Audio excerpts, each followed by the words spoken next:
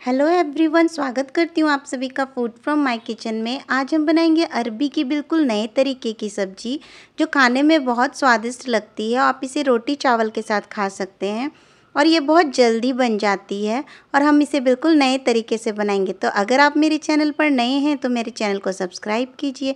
Video पसंद आए तो वीडियो को लाइक कीजिए शेयर कीजिए कॉमेंट सेक्शन पर मुझे कॉमेंट कीजिए।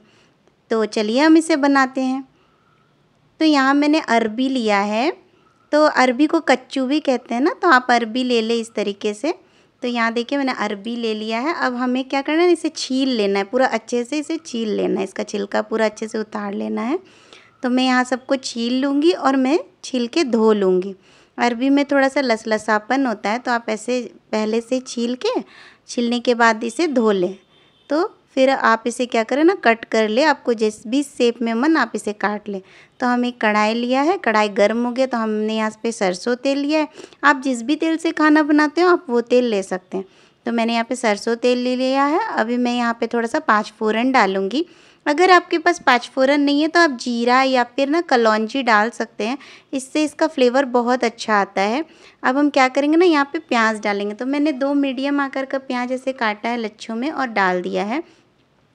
प्याज को हमें थोड़ा सा लाल करते हुए भूनना है। तो आप प्याज को ना जब तक लाल ना हो जाए तब तक भूनें तो हम यहाँ प्याज को थोड़ा भूनेंगे। तो इस तरीके से करके हम प्याज को छोड़ देंगे पाँच मिनट तक।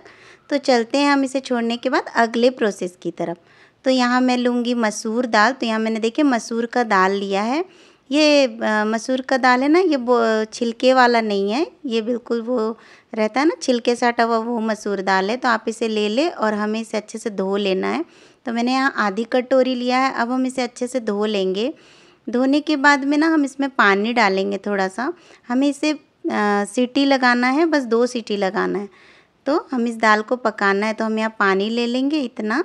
दाल अच्छी तरह से डूब जाए और हम इसमें डालेंगे अभी थोड़ा सा नमक। हम सब्ज़ी में भी नमक डालेंगे तो यहाँ थोड़ा सा नमक डालेंगे और एक तेज पत्ता और ऊपर हम थोड़ा सा तेल डाल देंगे ताकि सीटी जब हो ना, सीटी जब आती हो तो बाहर ना आए दाल तो यहाँ पे हम थोड़ा सा ऊपर से तेल डाल देंगे। तो यहाँ मैंने फिर से सरसों तेल थोड़ा सा डाल दिया है, ताकि सीटी से दाल बाहर ना आए और हमें इसे दो सीटी तक पकाना है। तो इसे हम पकने के लिए देते हैं, तब तक प्याज की तरफ़ चलते हैं। तो प्याज देखिए, यहाँ पे आधा से ज़्यादा पक चुका है तो हम यहाँ पे थोड़ा सा इसे भून लेंगे एक मिनट तक। और उसके बाद हम अपने अरबी के टुकड़ों को जो हमने अरबी काट के रखी हुई है इसमें डाल देंगे। और प्याज के साथ हमें इसे भूनते जाना है। अरबी को हमें अच्छे से भूनना है, क्योंकि ये इसमें जो लसलसापन होता है ना, वो इस टाइम पे भून भून के हमें उसे ख़त्म भी करना है और इससे इसका टेस्ट भी अच्छा आता है। तो आप इसे पाँच मिनट तक इस तरीके से भूनें एकदम अच्छे से। जब तक अरबी में थोड़ा सा लाल, लालपन ना दिखे तो मैंने भून लिया, उसके बाद लिया है अदरक का पेस्ट और लहसुन का पेस्ट तो आप एक चम्मच लहसुन पेस्ट एक चम्मच अदरक पेस्ट ले और थोड़ा सा यहाँ पे मैंने धनिया पाउडर लिया है। थोड़ा मैं यहाँ पे जीरा पाउडर लूँगी, एक एक चम्मच। और थोड़ी सी मैं यहाँ पे हल्दी लूँगी। तो यहाँ मैंने हल्दी ले लिया है। थोड़ा सा मैं नॉर्मल लाल मिर्च लूँगी यहाँ पे। ये बस चुटकी भर। आप अगर नहीं खाते हो तो स्किप कर सकते हैं। और मैंने यहाँ पे काश्मीरी लाल मिर्च लिया है। इससे इसका कलर बहुत अच्छा आएगा सब्ज़ी का। तो मैं यहाँ पे इसे चला लूँगी। चला के अच्छे से भूनूँगी अभी मैं इसे। तो मैं इसे फिर से दो तीन मिनट भूनने के बाद डालूँगी इसमें टमाटर। तो मैंने इसे छोटे छोटे टुकड़ों में टमाटर काट के ले लिया। यहाँ मैंने एक बड़े आकार का टमाटर लिया। आप दो मीडियम साइज़ का टमाटर भी ले सकते हैं। जितना आपको खाना आप कम ज़्यादा कर सकते हैं। यहाँ पर हमें इसे अच्छे से भूनना है। तो यहाँ पे हम डालेंगे नमक। तो हमने दाल में भी नमक डाला था। तो यहाँ पे हम अपने स्वाद अनुसार ही नमक डालेंगे। तो मैंने नमक डाल लिया है। अब हम इसे पाँच मिनट तक भून के फिर इसे हम ढक देंगे इस तरीके से। तो अभी मैं इसे ढक दूँगी। ढक के हमें इसे दस मिनट तक इसी तरह छोड़ना है। तो मैं इसे अच्छे से सेट करके ढक दूँगी। तो यहाँ मैंने ढक दिया। दस मिनट हो गया था। दस मिनट के बाद हम ढक्कन हटाएँगे। तो ये देखिए किनारे किनारे से तेल आ रहा है। तो हम इस टाइम पे थोड़ा अच्छे से इसे भून लेंगे।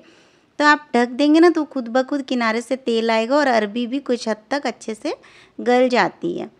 तो फिर हम इसे भूनना, अरबी को आप जितना भूने वो उतना अच्छा रहेगा, उसका लसलसापन भी ख़त्म हो जाएगा और वो एकदम खुजली भी नहीं करेगा। कोई कोई अरबी बहुत खुजली करता है ना तो वो भी नहीं करेगा। तो इस टाइप हमें हमें पानी डाल देना है इस टाइम पे। तो मैंने यहाँ पे अच्छे से पानी डाल दिया है। अब मैं यहाँ पे डालूँगी हरी मिर्च। तो ये देखिए, हरी मिर्च मैंने डाल दिया है। दो हरी मिर्च को मैंने डाला है बीच से काट के। आप तीखा अपने हिसाब से कम ज़्यादा कर सकते हैं। मैंने थोड़ा सा गरम मसाला डाला है। हम इसे अच्छे से मिक्स कर लेंगे और मिक्स करने के बाद हम यहाँ पे ढक देंगे एक मिनट के लिए और तब तक हम चलते हैं अपनी दाल को चेक करने। तो दो सीटी के बाद मैंने कुकर को लाया यहाँ पे इसका जो भाप तो वो निकल चुका है, देखिए। तो फिर मैं कुकर खोल के देखूँगी दाल अच्छे से गल गया है दो सीटी में। मसूर दाल बहुत जल्दी गलती है। अब हमें क्या करना है? देखिए, दाल एकदम अच्छे से गल के ना परफेक्ट एकदम। अब हमें ये जो तेज पत्ता है, इसे निकाल के फेंक देना है। बस इसका फ्लेवर चाहिए था जो दाल में आ चुका है। अब हम क्या करेंगे ना, दाल को इस तरीके से देखिए, दाल अच्छे से पक गया है। अब हम चलते अपने सब्ज़ी की तरफ़। तो हम ढक्कन हटाएँगे और सब्ज़ी को एक बार हल्के हाथों से चला लेंगे। तो ये देखिए, चला लिया है। अब हमें क्या करना है ना, इस वो जो उबला हुआ दाल था, वो यहाँ पे डाल देना है। तो मैंने यहाँ पे डाल दिया है। इस तरीके से आप सब्ज़ी बनाएँ, आपको बहुत पसंद आएगी। एक बार ज़रूर ट्राई करें, ये चावल रोटी के साथ आपको बहुत अच्छी लगेगी।